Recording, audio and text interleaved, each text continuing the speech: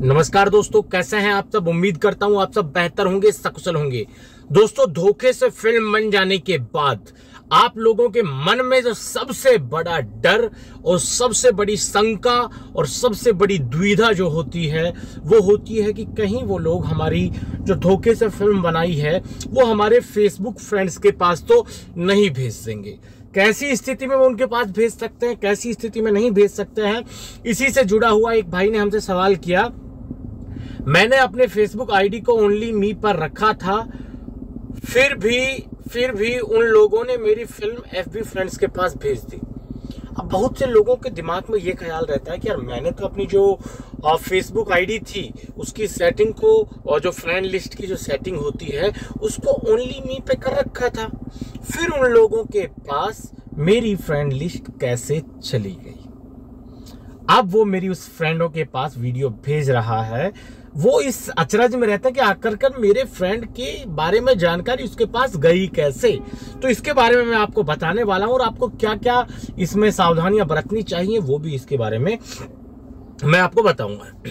सबसे पहले तो आप समझ लीजिए कि ओनली मी जब आप करते हैं तो उसका मतलब क्या होता है? आपने अपनी फेसबुक फ्रेंड लिस्ट को ओनली बी मी पे सेट कर रखा है। तो इसका मतलब है कि आपकी जो फेसबुक की फ्रेंड लिस्ट है, उसको सिर्फ़ आप ही देख सकते हैं।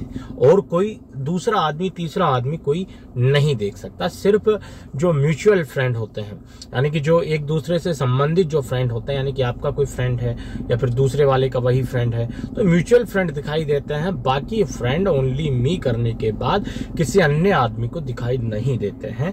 ये बिल्कुल सच है। अगर मान लो ऐसी बात है तो फिर उनके पास फ्रेंड्स की जानकारी कैसे पहुँच जाती है?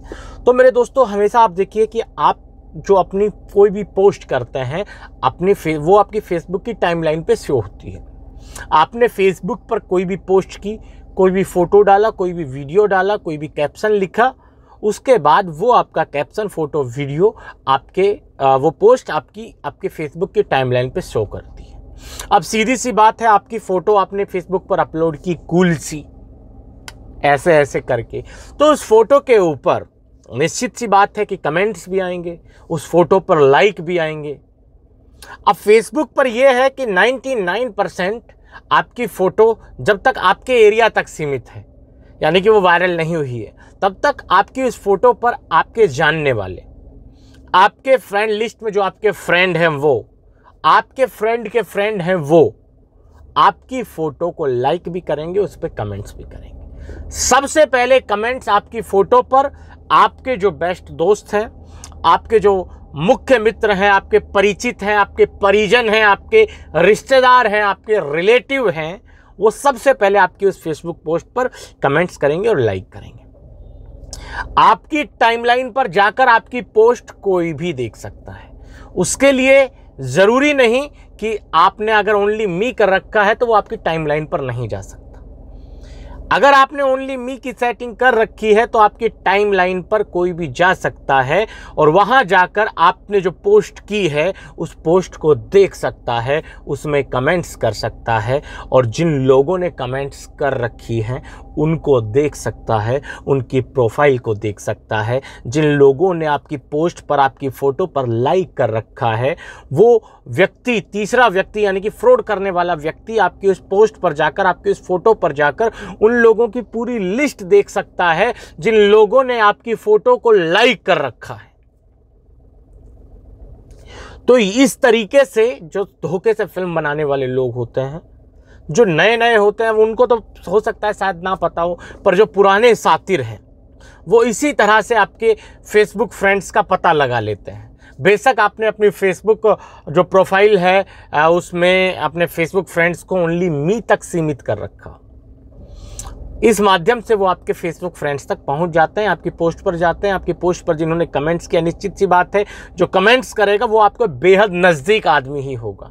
जो आपके बिल्कुल नज़दीक है, वो रिलेटिव होगा, वो रिश्तेदार होगा, वो परिवार का सदस्य होगा, वो आपकी फ़ोटो पर सबसे पहले और सबसे जल्दी कमेंट्स करते हैं। तो वहाँ से वो उन लोगों की प्रोफ़ाइल पर जाते हैं, जिन लोगों ने कमेंट्स किया है, और वहाँ आपकी वीडियो भेजने का प्रयास करते हैं, कोशिश करते हैं। तो यही एक तरीका है आपके वहाँ तक इन लोगों, आपके फेसबुक फ्रेंड्स तक पहुँचने का।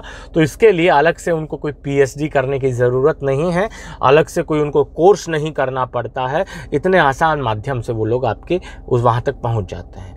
तो भाई का जो सवाल था, उसका जवाब यही है। भाई ने जो सवाल पूछा था कि मैंने अपने फेसबुक फ्रेंड को ओनली मी कर रखा था, फिर भी उन लोगों ने मेरे फेसबुक फ्रेंड्स के पास वीडियो भेज दी, ये कैसे संभव हो सकता है?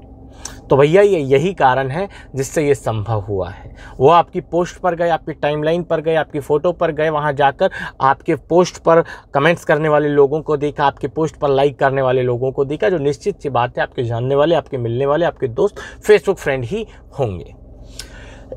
अब इसके बाद आता है कि यार, अब ओनली मी कर लिया तो फिर क्या करें तो?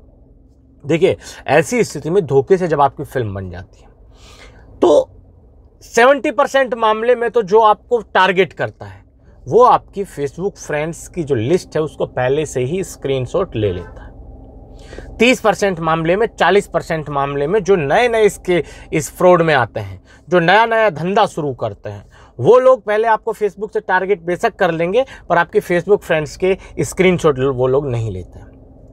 ठीक है? अब जिन्होंने पहले से ले लिया, उनका तो आप कुछ कर नहीं सकते हैं। उसके लिए तो आपको अलग से कुछ एफर्ट करने पड़ेंगे कि उनके पास अगर मान लीजिए आपके फ्रेंड्स के पास वीडियो भी चली जाए तो आगे वो ना भेजे। इसके लिए आपको अलग से कुछ करना पड़ेगा, वो अलग वीडियो में हम कभी आपको बता देंगे। पर जब मान लीजिए कि आपके फेसबुक फ्रेंड्स की स्क्रीनशॉट उन्होंने नहीं लिया तो सबसे पहले जब आपकी धोखे से फ़िल्म बन जाए और आपके पास वो लड़की कहे कि, बताइए, आपकी फ़िल्म को वायरल करना है अपलोड करना है या डिलीट करना है।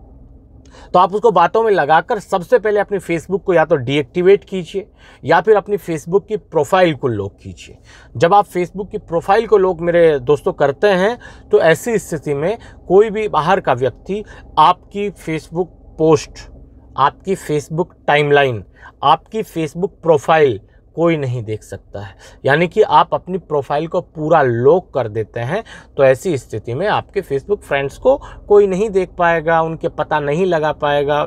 अगर वो कोशिश करेंगे आपकी टाइमलाइन पर जाकर, आपके पोस्ट के नीचे के कमेंट्स में जाकर आपके दोस्तों का पता लगाने का कोशिश करेंगे तो वो भी नहीं हो पाएगा, क्योंकि आपने अपनी प्रोफ़ाइल को पूरी तरह से लॉक कर रखा है। तो आप भी अगर कभी इस असमंजस में हो, इस डाउट में हो कि यार मैंने तो अपने फेसबुक फ्रेंड्स की जो सेटिंग है उसको ओनली मी कर रखा था।